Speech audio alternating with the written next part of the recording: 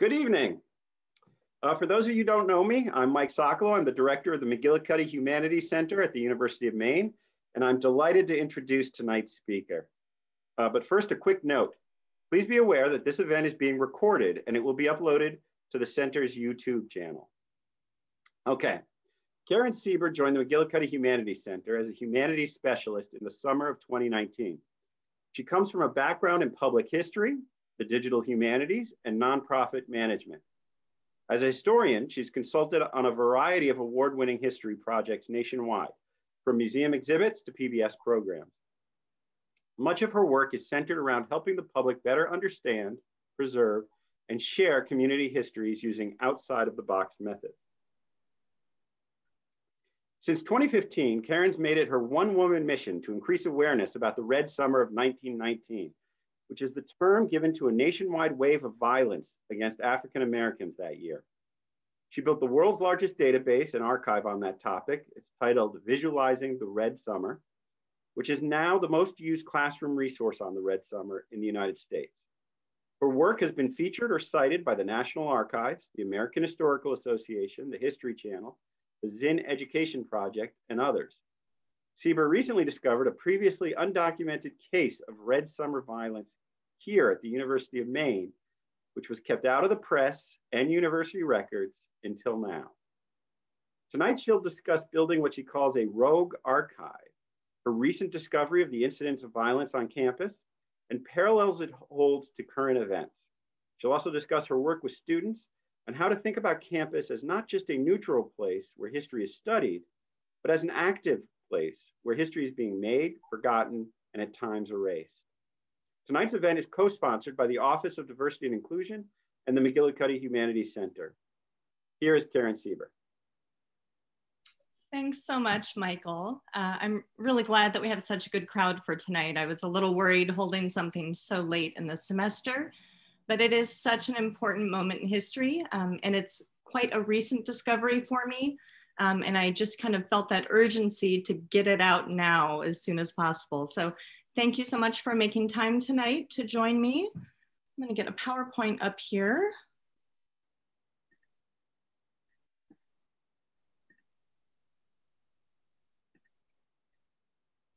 All right, can you see this? Good, wonderful. All right, so as Michael said, my name is Karen Sieber. I'm the humanities specialist at the McGillicuddy Humanities Center, um, but I come from a background in public history and the digital humanities. Uh, most of my research, while I'm known for this Red Summer research, um, is actually more so centered around the intersection of travel and education.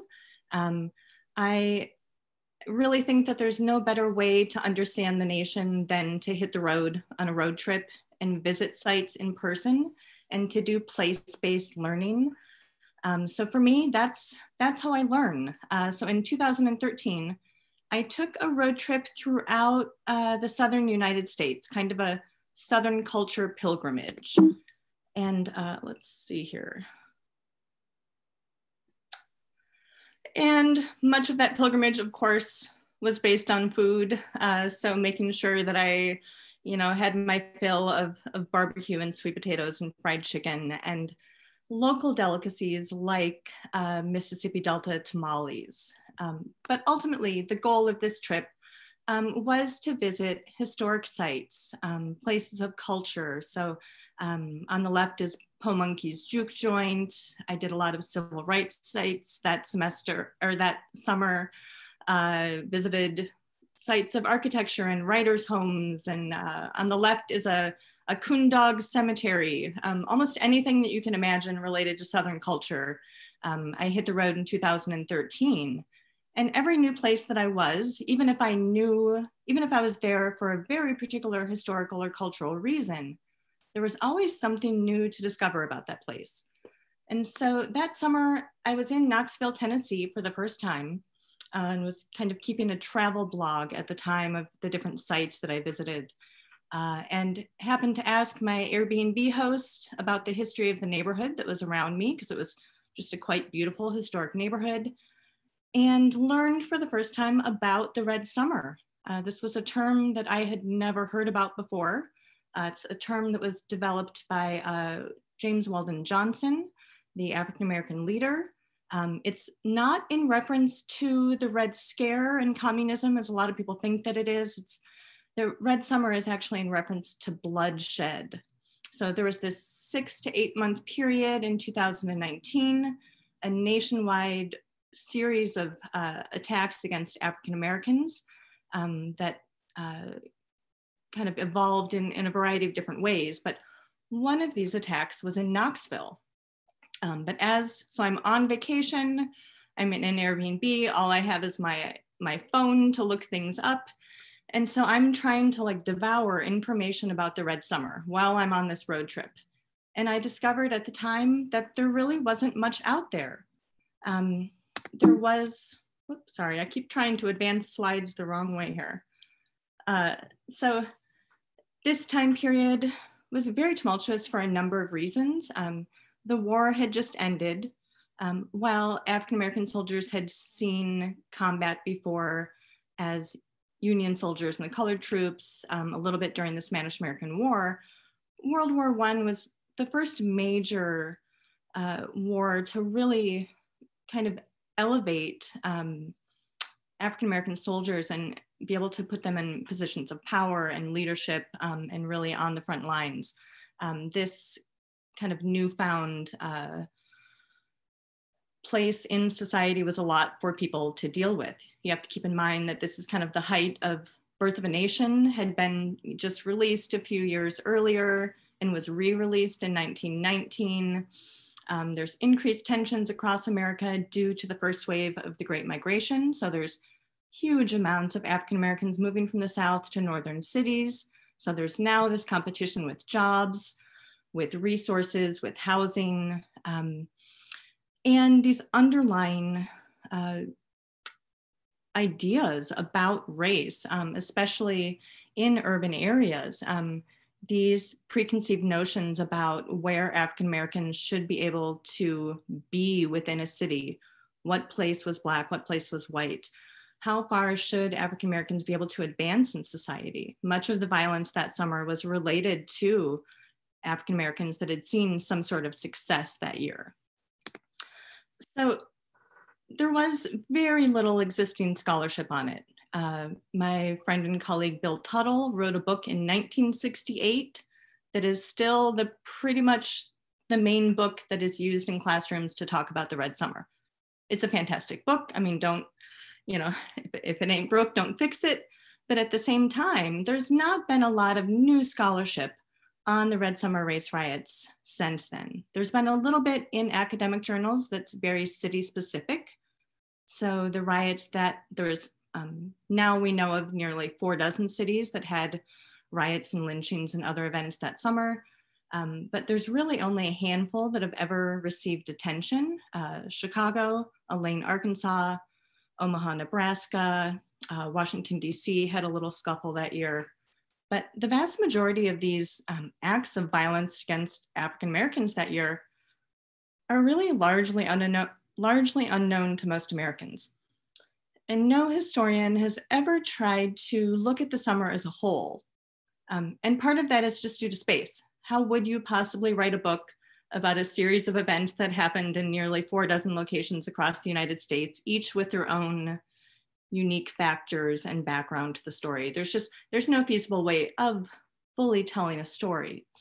But I wanted to find a way of providing better access to the documents that did exist, as well as creating some data about these events so that other scholars could use that to then look into patterns um, across these events. What did rural events look like versus urban events? But there was a lot of things that kept scholars from writing about it. Um, first and foremost, the term red summer that we now use was not used at the time. So if you were to do a search on like newspapers.com for red summer, it's not going to pop up anything um, because it wasn't what it wasn't the terminology that people were using at the time. But because this also was a very uh, tumultuous period within labor history, just using a wording like riot isn't necessarily helpful as well, because there are so many other riots going on in the world at the time. Um, so how do we kind of parse through all of the historical material that's out there um, and provide better access? I knew that material had to exist across the country, um, but a lot of these institutions weren't even aware that they had the material. It was things that had been in boxes for years, or they possibly knew of it as a local event, but weren't aware of its connection to this greater nationwide series of events. Um, very little of it had ever been digitized. So at 2013, if you tried to find images of anything related to the Red Summer, there was the same 15 or 20 things that were coming up time and time again. So I tried to figure what, what can I do about this? Why can't I just go get all of this material and make it available? Um, and at the time I was working, uh, building a community archive for a cotton mill village in North Carolina, uh, was very much into spreadsheets and GIS and that kind of thing. And I knew of my ability as a historian to track down documents. Uh, and I knew too that because I'd worked a lot in copyright, that there wasn't necessarily any legal reason why I couldn't myself take a photograph of this image and put it up online. Uh, the, the copyright cutoff for a lot of published material is 1923. Otherwise, there's kind of a cutoff of 40 years after someone's death. But none of these were really a, a concern here um, because these events happened so long ago. Um, there was nothing proprietary about a lot of this material, especially the newspaper reports and um, public government records, court documents, and that kind of thing. So being a lover of, of road trips and a lover of spreadsheets, I, uh, I got a little bit of funding and in two thousand, and when I say a little bit, I mean uh, $3,000 or so um, to build something that is now used worldwide. Uh, so in 2015, I took to the road and drove 7,500 miles around America, uh, stopped at 25 different institutions across the country, small historical societies, major uh, institutions like the Newberry Library, um, to really try to find everything that I could about these events. Some of this was quite easy. So I was able to use Bill Tuttle's uh, biography and, and endnotes um, to see what were the sources that he was using back in 1960, building his case about the Chicago riots. Um, looking at, there's a great writer who did a piece on the Knoxville riots as well as the Omaha riots, looking at what material they were looking at within their regions. Um, but ultimately was able to track down um, I'll show you a, a, few of the images that have always stuck out to me over the past couple of years. Um, but I do want to warn you that there are some graphic images here. Um, so if you are, if, if, scenes of death and violence um, bother you, which, which they should, uh, please do uh, maybe leave for a moment and come back. On the left is a picture of Longview, Texas. Um, as was the case in many of these events across the country in 1919, African Americans were often rounded up, um, often by a large white mob, armed mob. And in many cases, the African Americans had their guns taken away from them.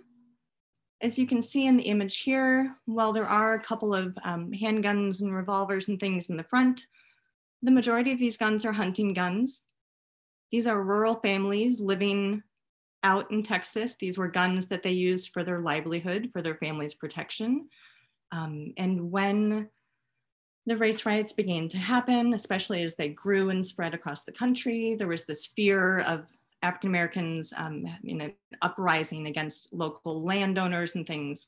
And so um, the confiscation of guns was something that you saw across the nation again and again that summer. On the right is an image from Omaha, Nebraska, this is Willie Brown, lynched by a mob of, they say between three and 5,000 in Omaha, Nebraska. Uh, he was broken out of jail. The jail was dynamited um, to get him out of the jail to then lynch him in a public square. This idea of um, kind of this perceived justice by the mob that they were not going to wait for the legal system to do anything um, so many of the riots this year involved people being broken out of jail to then be um, killed, if not attacked, in the streets. Um, so, Omaha, the crowd involved women and children. The mayor was uh, tried to break in and stop the mob and stop the lynching of Willie Brown. The crowd then took a noose and put it around the mayor's neck and hung him up as well. Um, the mayor was cut down, but he was in a coma for quite a, a long time period. Uh, Willie Brown was not so lucky. Um, so it, it, turns out he wasn't even the man they were looking for. It was just that they broke into the jail and any black man would do. Um, this was something else that you saw again and again in the Red Summer. On the left here um, is one of the documents that I later came across in Knoxville, Tennessee. Uh, so I first heard about the events in 2014 or 13, but 2015 came across this document. It's from Maurice Mays. If you can see here, it's written from the death chamber. Um, he was put on trial for um, attacking a white woman. Uh, her name was Birdie something. It's been a while, I'm not sure if I remember her name. Um, it later turns out he's likely not the guy. There's mounting evidence that he's not the guy. The attacks continue after he's in jail, and yet they've sentenced him to death. Um, partially because his attacks then um, spurred riots across the city and violence and destruction. Um, and so this is him begging the governor um, to put a stay to the execution. Um, Willie Mays, what, or Willie Mays, uh, Maurice Mays, sorry about that, uh, was a wealthy African American business owner. Um, he was also known to date quite a few white women in town, including the wife of the local police chief. All of this rubbed people the wrong way and um, likely uh, was one of the reasons that um, they ended up putting him to death without really any evidence. On the right um, is involved with uh, the Elaine, Arkansas massacre from that summer, called a massacre because there's likely two to 300 African American sharecroppers that were killed in Elaine, Arkansas for organizing, for demanding better pay for, uh, for their crops um, to the landowners, many of which were descendants of the same families that owned the descendants of the sharecroppers as slaves. Um, this is generational inequality in this, um, in the kind of delta region of, of Mississippi. And finally, on the bottom, a political cartoon from Chicago, Illinois, um, that shows kind of an imaginary line being crossed in the water. In Chicago that summer, right around July 4th, there was an African American teenager uh, who was stoned to death for floating into what was considered to be white water. There was a black beach and a white beach. He floated into what would have been white waters of Lake, Lake Michigan, and the crowd on the beach ended up stoning him to death. Um, this spurred riots across the city. While this was kind of the instigating factor, there was issues with labor and housing, and there was um, bombings throughout the city that summer of Black housing and businesses. Um, so it was not completely related to this event, but this was um, the event that spurred it. And so everything that I collected that summer, I ended up building into a digital archive. So I collected over 700 documents that summer, uh, photographs, news clippings, cartoons, memorabilia, meeting minutes from places like the Urban League or the NAACP, who were in their early years still at the time. And this is filterable too. So uh, researchers can use this and look by just documents from one particular city, or they could look at just photographs or court documents, maybe if they're a legal scholar. Um, there's different ways of sorting the material to make it useful. I also built a data set on the back end. So the more and more that I collected, I realized that a lot of these events had never been included in Red Summer data before. Um, there was sometimes confusion and a similar, uh, like one event would be called two or three different things by different people. The events would vary. And so I ended up trying to come to a kind of a definitive list of the events for the Red Summer. Um, and I use this to build an interactive timeline. So you can see kind of, this is just a screenshot, but you can see each of these little boxes here is a different city that summer. Um, as, you, whoop, as you move through time through the summer, um, you can see how they really increase um, leading into the fall. So ultimately, uh, I think when I first started, there was somewhere between like 26 and 29 Red Summer uh, incidents of violence that were known. Uh, we are now up to four dozen. And I really thought that, that we were done. So I finished this in 2015.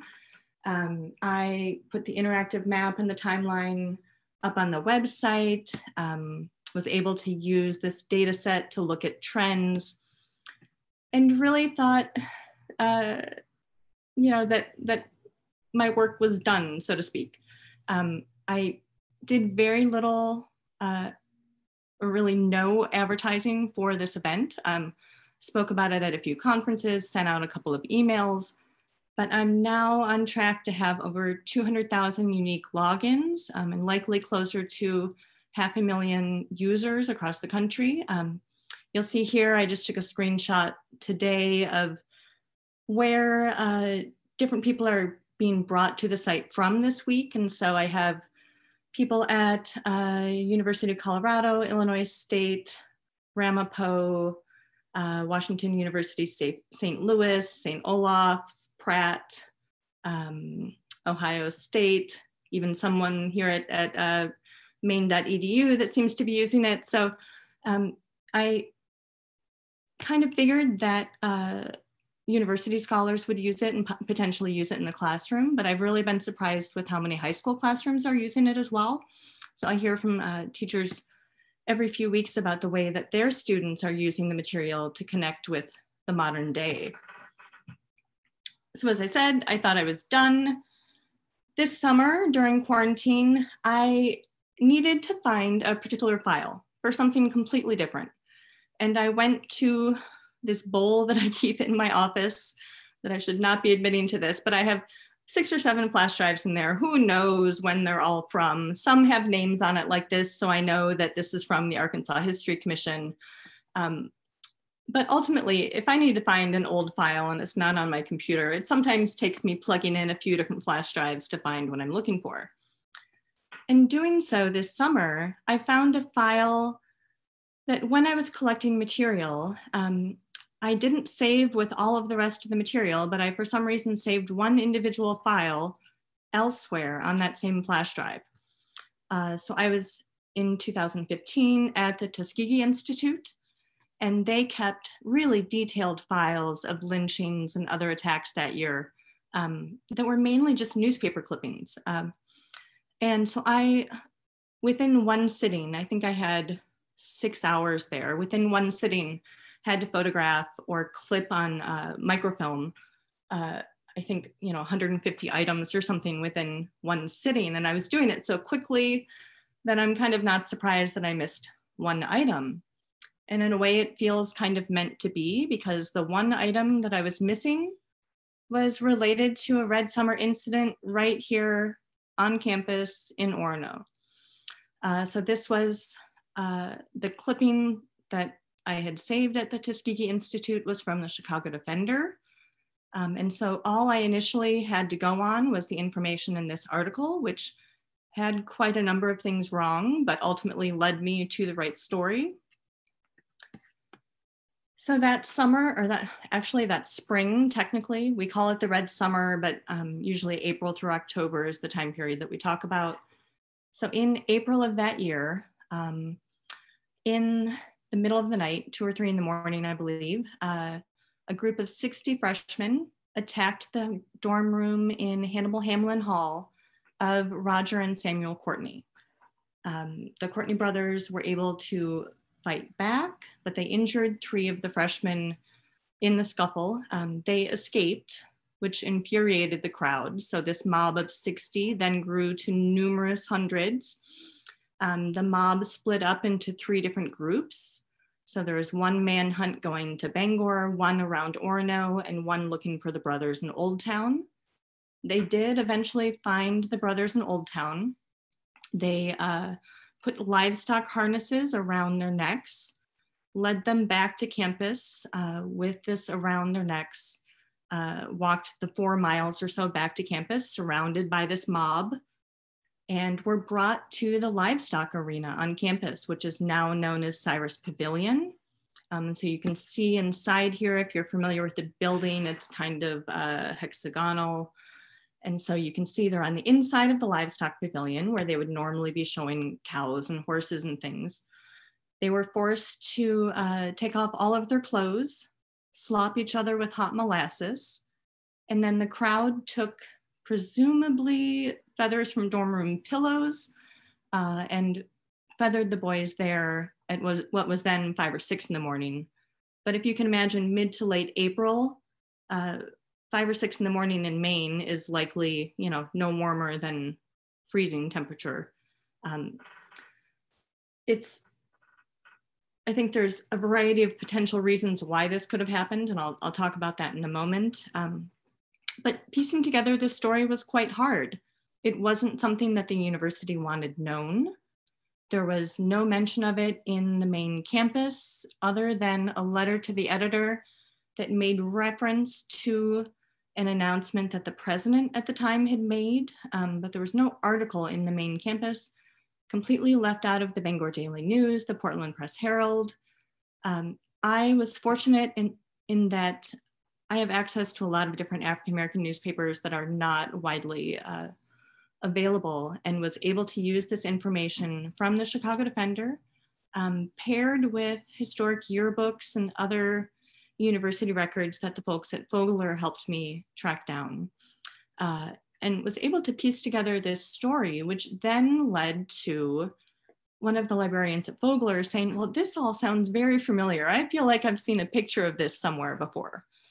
Um, and they were able to go back through and there was uh, former students papers that were donated who was a student during the teens, uh, Seth Pinkham. And this photograph was included in his papers um, from his time as a student. On the right here is their father. And normally I wouldn't mention someone's parents, but Samuel Courtney Sr. was a very well-known African-American leader. Um, he was the head of the National Medical Association, uh, the president of the Negro Business League. He was a very close advisor and friend to Booker T. Washington. Um, he was a physician in Boston, quite wealthy. The boys went to the top schools in Boston.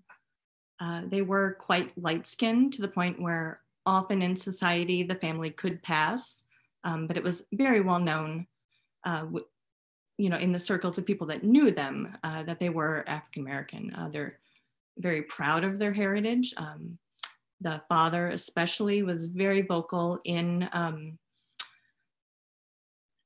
making a name for himself as um, as a doctor and business leader, and and actually for a while a politician during the Reconstruction era when the boys were were young and even shortly before uh, the sons were were born. Uh, but other than a handful of newspaper articles in African American newspapers and this single photograph, this was something that was swept under the rug. It's not included in any campus history. It's never been written about in books. It's definitely never been included in Red Summer data before. And there's a variety of reasons that might happen. Um, you know, obviously this is not something worth celebrating in a campus history but even from the other perspective, um, from the perspective of the Courtney brothers, um, just out of trauma and shame, this is not something that um, that I imagine that they would have passed down to their families. Um, I'm, this is still a very new discovery for me, so I'm working quite hard at tracking down descendants of the Courtney brothers. Um, I've made it through the 1960s and, and um, and now have hit a little bit of a brick wall that will require me traveling to Boston. So I'm hoping once things lighten up to be able to, to add more to this story. But I mentioned there's some similarities here. Um, you know, a lot of people have asked me, well, why do you consider this to be a Red Summer event? There's so many similarities between this and other events that summer. Um, number one is the victim blaming. Um, I mentioned that there was a brief statement that I was able to come across from the president at the time, uh, President Aley. He basically, it, his statement basically came down to, well, what did they do to deserve it? Um, and which is something that you would see time and time again. Yes, they were attacked, but we're going to ignore the attackers. And instead, do you know that 10 years ago, so and so had this minor infraction that we should now bring up? Um, this idea of mob justice, as I mentioned, this kind of inappropriate extrajudicial response. Um, the only wording that I've ever found to describe why this happened to the Courtney brothers was that they were ill tempered, which is often the kind of words that you would hear to describe any African Americans who really attained any sort of uh, notoriety. These boys were at the top of their class, they played football, they were World War One soldiers. They dated white women. They were very much popular at UMaine, um, but definitely not with everybody. Uh, this is, holds a lot of similarities in the fact that it was kept out of local press, um, but those in the African American press were very much aware of this event, especially because of the notoriety of the father. Um, and the final big similarity um, is that there was a lack of response from law enforcement. You know, there's a mob of anywhere between four and 600 people roaming the streets and, and, the, and for hours and leading these uh, African American men back to campus. And yet the police show up like a half an hour after everything is done. It's, you know, it goes on for numerous hours and the police show up after everything is has kind of been finalized. Um, this is something that we see time and time again, that if there is any response at all, that it's either after the fact or that there's some sort of support or alignment with the mob and not with the victims. Um, this, these are similarities that you see again today. Um, this was one of the first major incidents where you really saw kind of a militarization of the police as well. And so there was tanks and machine guns used against citizens in Knoxville and Chicago and other cities. Um, and really, if you were to try to fight back against that, you were seen as an agitator. Um, you were often arrested, you were labeled a communist.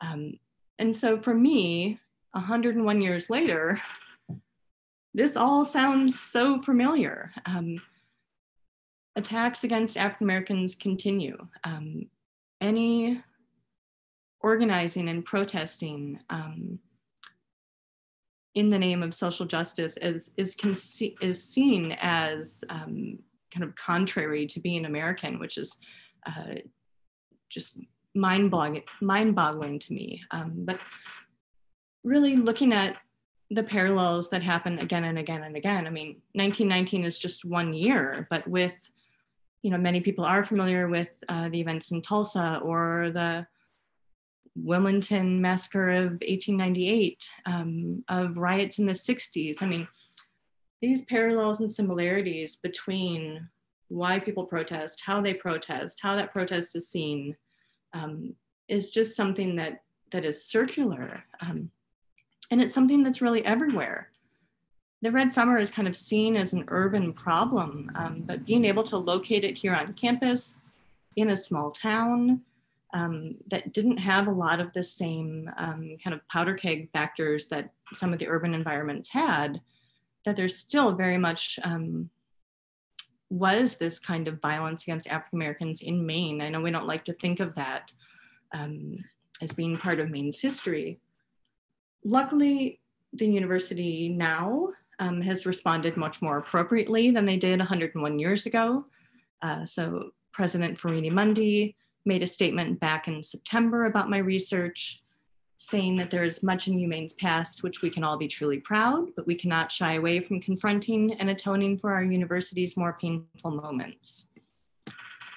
So I'm hoping to use this event as an opportunity um, to work with students to look at this and other hidden histories on campus.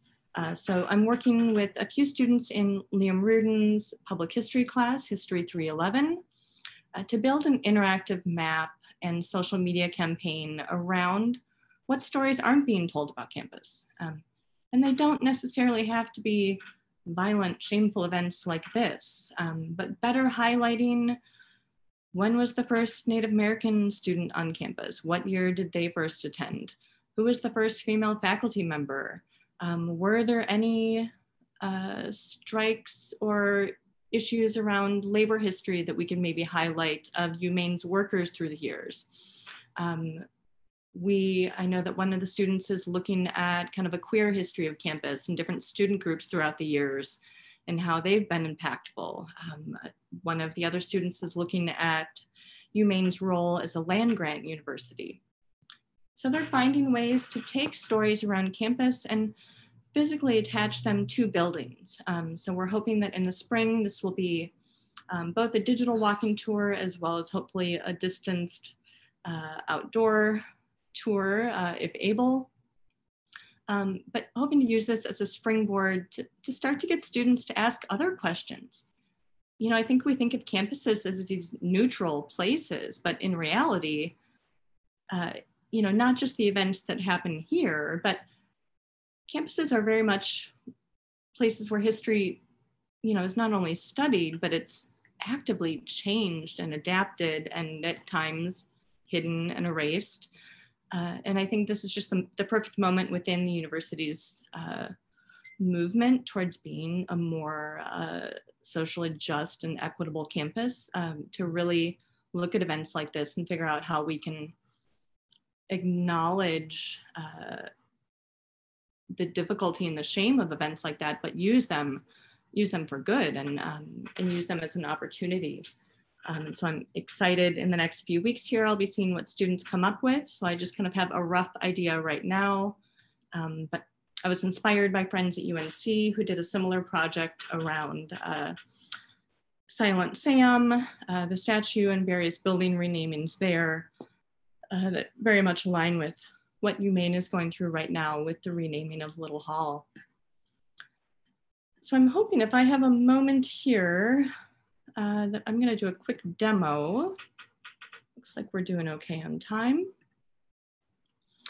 So the website that I built, uh, visualizing the web the red summer, has a variety of different components. And so the timeline here, if you're just kind of hoping to better understand the red summer and what it was all about, I think the timeline is the best entry point. Um, so as you move through the year, you can see the first events in April, the event in Orono being one of the first that summer. But each and every one of these bars is a different city, a different event, a different document featured.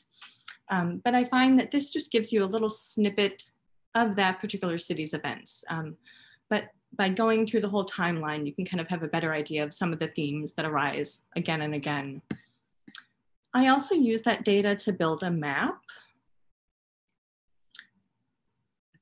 And if you click on the image here, it should take you in there. All of these data sets are filterable. So the initial screen um, is just sorting by types of violence. So where, where were lynchings more popular versus riots? Lynchings definitely were very much more a Southern thing, riots more so in the North. But there's other ways if you wanted to look at what were the most violent riots. Um, so I'm gonna unselect everything here.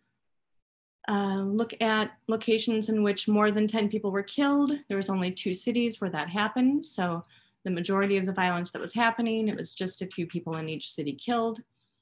But then comparing that to number injured, um, some of these cities really had hundreds and hundreds of people that ended up in the hospital um, from these fights that were happening in the streets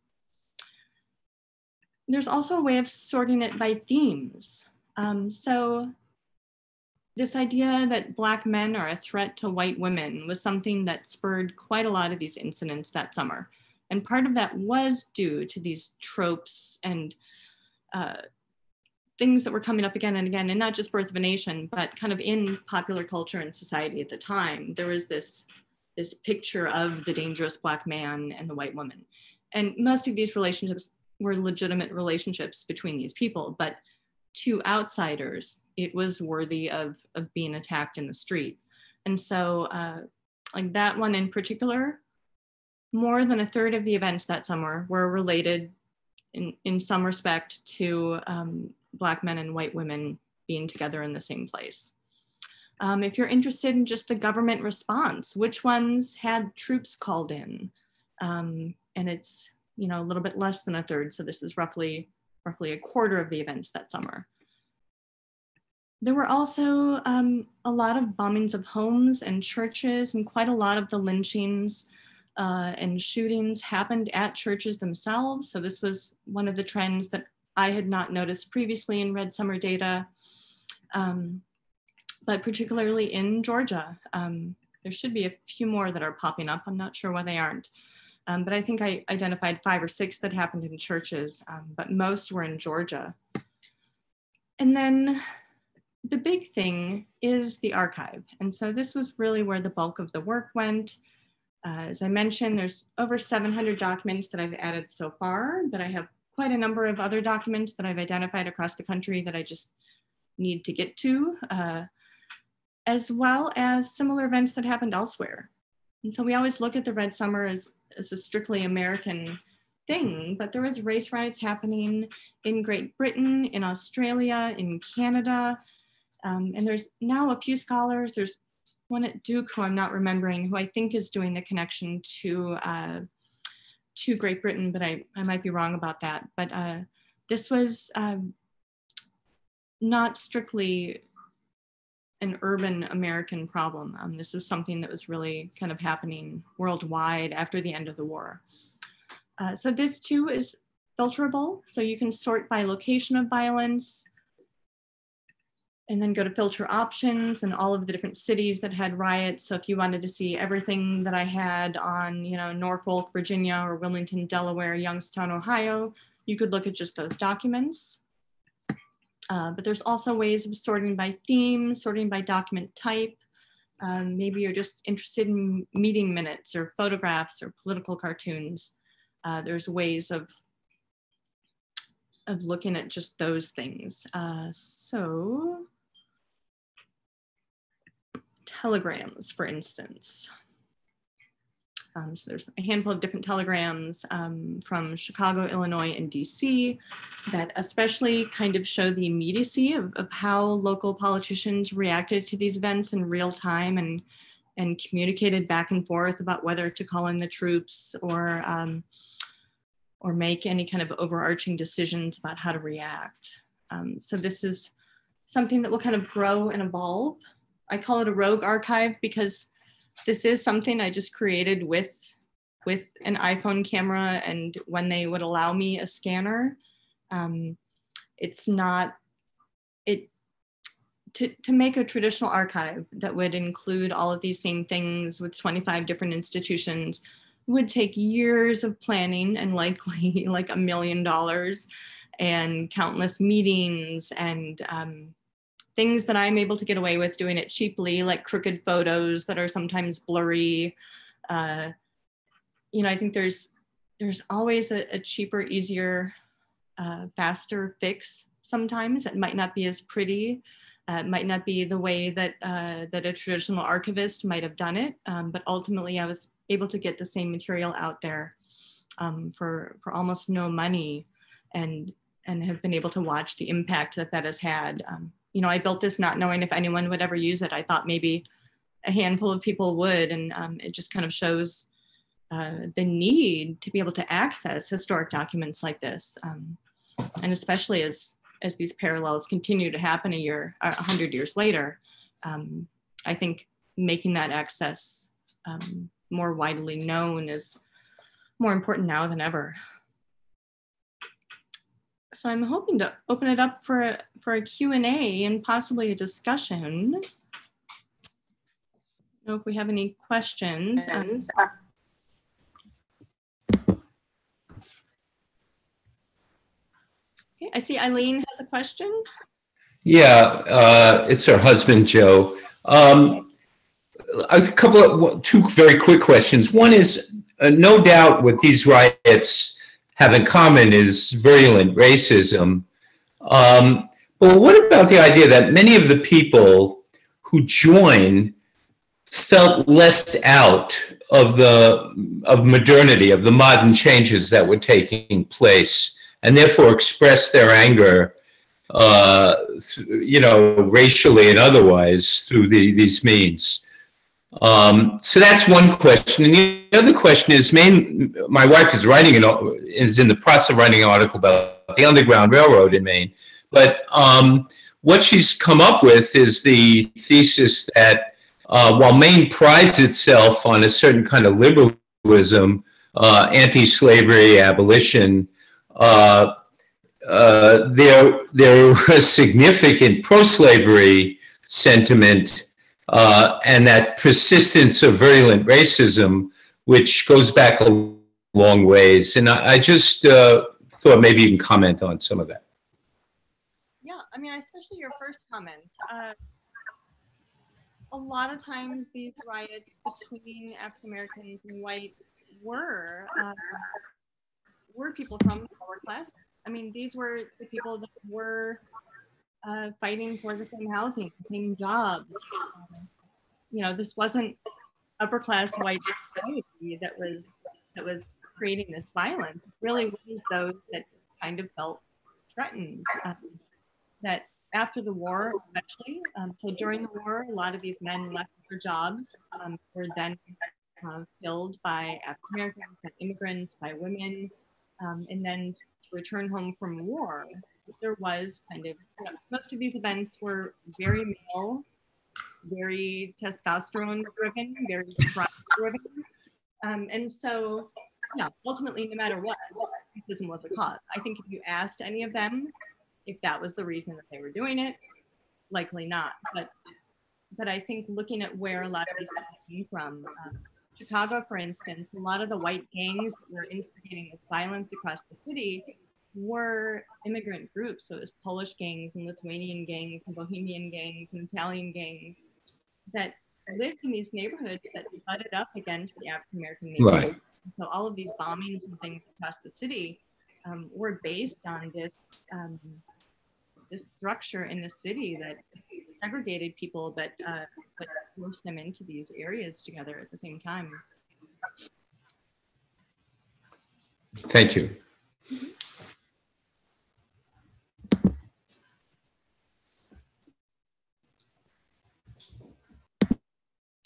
Any other questions?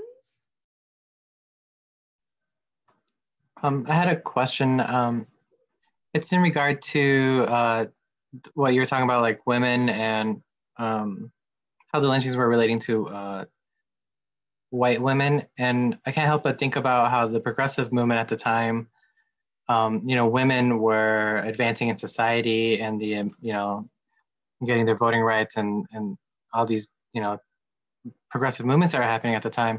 I'm wondering, um, Professor Manning at Loyola had had said in his class that Lind, uh, you know, inter interracial um, relationships were outlawed, and not just to control black men, but to control women as well. I'm wondering if you ever came across um, something that linked the two, like and just called it out in any of your research. Yeah, no, I'm trying to think of anything that was specifically related to local laws or anything. The only one that I'm thinking of offhand was a smaller incident in uh, Newberry, South Carolina. Um, the man was literally arrested for writing a love letter uh, to a woman, and he had asked another white woman to like give it to her friend. And that was enough, according to local law, uh, for him to be arrested, which then led to to riots and other things. But uh, yeah, no, and I think people are often unaware of laws like that, especially in areas like Maine or I mean, I lived in the South for years, and so like things like Jim Crow laws, very familiar with in the South, but like I think people in the North are for the most part not aware of uh, like sundown towns or other ways in which African Americans were um, by law segregated and um, that didn't quite look the same as as Jim Crow in the South, but uh, definitely the controlling of women's bodies. I, I, totally agree, Sammy, that it's very much as much a control of, of the women as it is of the men. Um, and I think a lot of that is harkening back to times of slavery and one drop rule and that kind of thing. Um, you know, this this is the height of of Birth of a Nation and um, and of this idea of white female purity and protecting the race and that kind of thing. And so it very much was a policing of of white women as well. Um, and not just bodies. Um, so like the Chicago and the Elaine riots in particular. Um, Ida B. Wells was uh, in her journalism days at the time and wrote a lot about it. Um, quite a lot of the people that were outspoken at this time were uh, female progressives, um, and especially in urban environments um, that uh, that were kind of at the center of. I mean, if you look at where a lot of these riots were happening, like Sammy's a Chicagoan, I know. So like there, a lot of them are happening like not so far from Hull House. um, and so it's these neighborhoods that are um, where all different cultures are very much kind of thrown together into um, this kind of matchbox uh,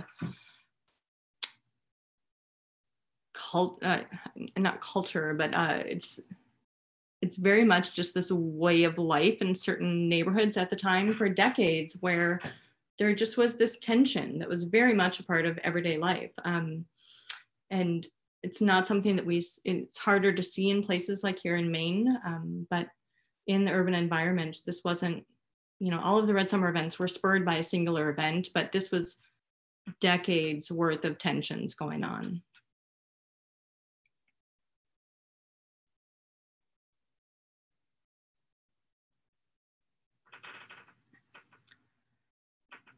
Any other questions? We have a few minutes to go. I had a question, if that's okay. Hi, can you hear me? I can. Okay, great. Um, I was wondering, um, I know maybe I missed this. You said there wasn't much information about sort of the, the, actual violence on the campus there or no, but and I was looking at the picture and I was trying to see, are, are those students, was it mainly a student led or were those men in the town or was it a, a combination? Um, I'm interested because I write about historically white sororities as well as fraternities, and um, I'm just I just looked up Seth Pinkham, and he has a fraternity relationship. So I was sort of curious if you ran across anything um, related to Greek organizations in this sort of leading an uprising, or if it was just overall student hazing, which happens I know with some classes anyway. Yeah, um, as far as I can tell it seems to be just student hazing, although others have made, if I showed you a larger version of that photograph, um, a lot of the boys are wearing identical beanies of some sort. And so I do wonder if there is some sort of connection there. Michael, were you the one to bring up the beanie connection? Might have been someone else. Um, but, uh, and quite a lot of the people in the background are also wearing soldiers' clothing.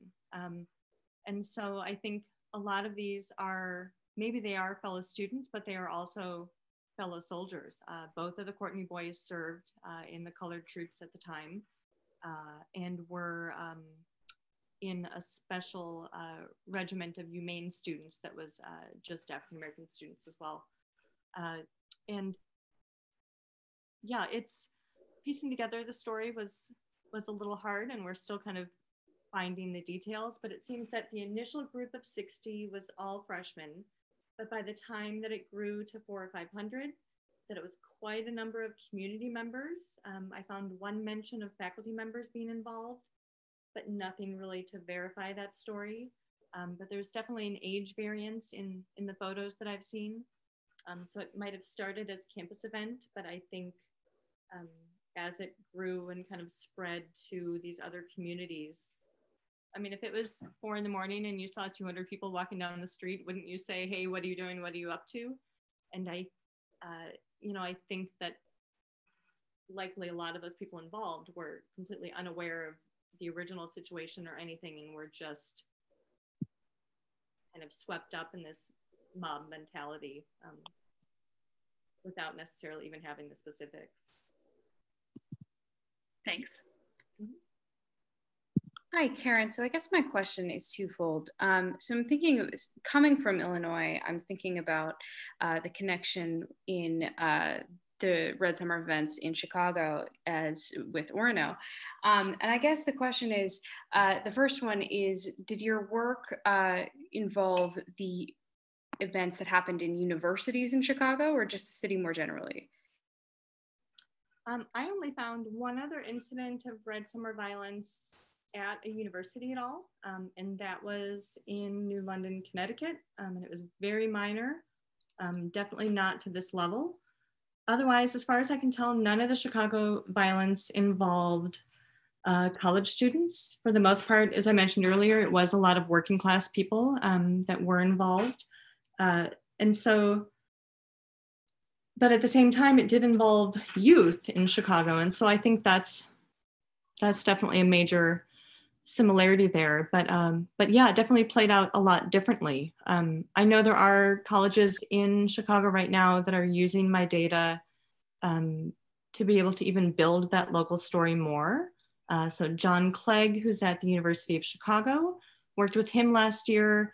Uh, he used my data set to then build these really detailed maps of Chicago with like heat maps and that kind of thing. So you can see where these little eruptions of violence were because um, I built a data set of um, all of the arrests and injuries and the addresses of all of the people that were arrested. And so you're able to kind of see exactly how it played out within the city. Um, and, and he's got much better digital humanities skills than I, than I do. So uh, he was able to kind of really bring that local Chicago story to light. Yeah, I um, I'll, I'll definitely look into that. Um, as part two of this question, as, as it played out differently, did you find that the the events that did take place were more violent or um, more dangerous in an urban setting than in a rural setting? Um, I mean, the very the very most violent event. Um, I think that at the time in the Elaine, Arkansas region, there was maybe like 1,500 total African American residents, and more than 200 were massacred during the events in Elaine, Arkansas. Uh, and so that was very much rural. It was um, sharecroppers living in the middle of nowhere being rounded up by, uh, by armed military members. Um, but for the most part, the mobs and that kind of violence really was far worse uh, in the urban areas. Most of the rural events were like, you know, 10 or 12 bystanders, that kind of thing. Um, the Orono event is by far the largest mob in a rural area that I've come across. Um, I was just comparing all of the data last week, um, and it was um, definitely one of one of the largest mobs uh, for the smallest populations. Thank you. I see Anila has a question too. Yes. Hi, Karen. Thank you so much. This was so uh, informative. And so, uh, my question, I guess, is I'm curious did the Courtney brothers then uh, go on to graduate from UMaine? Is my first question, you know, and I keep, I can't, I keep thinking, so that incident happened, like, how do you wake up the next day and like go to the dining hall or like go to class? And so and if you know based on what you mentioned that you know i wonder if a lot had to be done to keep it away keep it from getting some attention and um, you know media coverage do you think that there may have been sort of hush like reparations in some way? Uh, i mean i'm curious to know if you found some like hey we're gonna do scholarships or um i don't know you know how did that sort of white guilt placate itself? Yeah and it did not.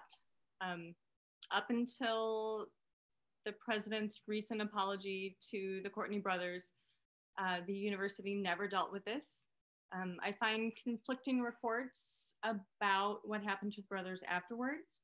Um, most initial reports say that they were asked to leave, that they didn't just leave campus after the, this event, but that the Courtney brothers themselves were asked to leave while no punishment was given to the attackers. Um, so I will mention that there's a third Courtney brother. There was actually three brothers attending UMaine at the same time.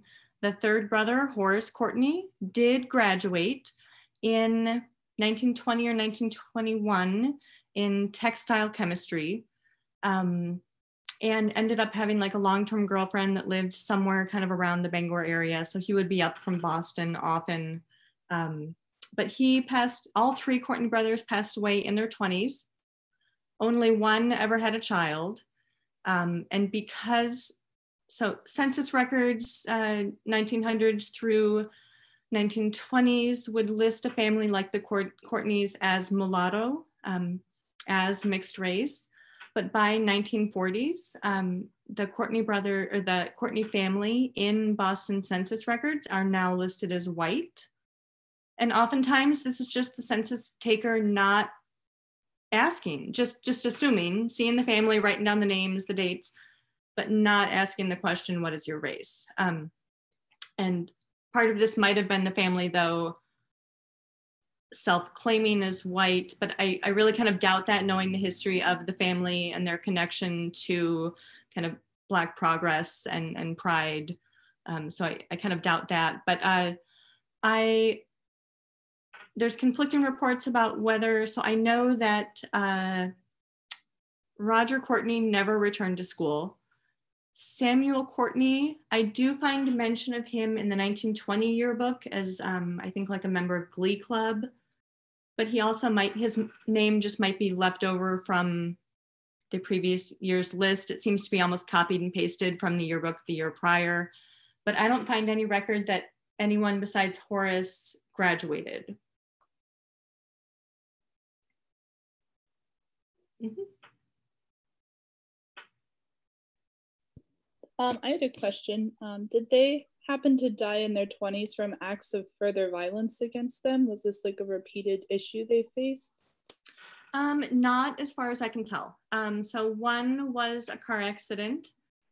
The other one was technically a car accident, but it, the way that the article described it, it seems that um, possibly he was injured during the war, which then created some sort of invisible internal injury that then like erupted, which then caused him to have a car accident or something. Um, but it seemed that uh, that one was a car accident and one was somehow related to the war, but uh, like 10 years later, passing away from whatever that injury was. Um, and he had like crashed into a building through a storefront or something, but it turns out it was related to some other injury. Um, but no, as far as I can tell, uh, this was the only incident of violence against the brothers. Um, the, uh, the father was a graduate of Harvard, and so um, a few of the boys, after their time at UMaine, did some work, um, some events and things at Harvard related to uh, African American athletes, um, both collegiate and professional. Um, and it seems that Roger, in particular, was um, quite well known um, as a supporter of uh, African Americans in collegiate athletics. When they played for UMaine, you know, so they're playing on an integrated team from 1917. I think 1917 is when the boys joined the team. Um, so this was a fairly early integrated team in the big scheme of college sports. Um, and a few of the brothers went on um, a little bit in sports, it seemed like, in the Boston area after that. I went on a tangent there that started with an answer to your question and, and went on a tangent there. Thank you. Mm -hmm.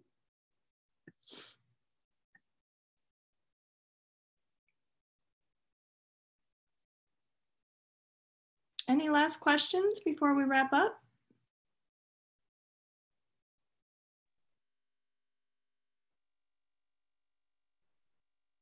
Okay. Thank you very much, Karen. And, and I want to thank the uh, Office of Diversity and Inclusion also for co-sponsoring this. And uh, we look forward to seeing, can you, can you just uh, conclude this, finish off by telling us uh, what your the future plans for this research here, uh, that you have right now? Uh, yeah. Where will we see it in print is one way of asking.